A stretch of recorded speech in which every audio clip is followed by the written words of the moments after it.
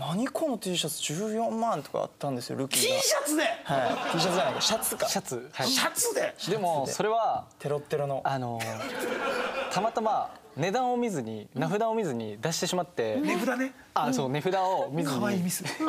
出してしまってその時に14万ですって初めて言われたんですよ。うん。ビビるよね。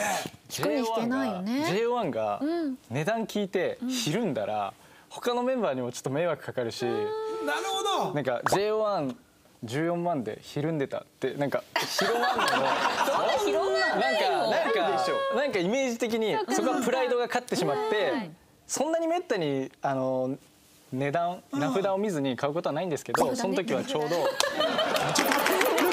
そのクールな感じで何回も名札っていうの可愛すぎるよ。一回考えてから値値札だった。札値札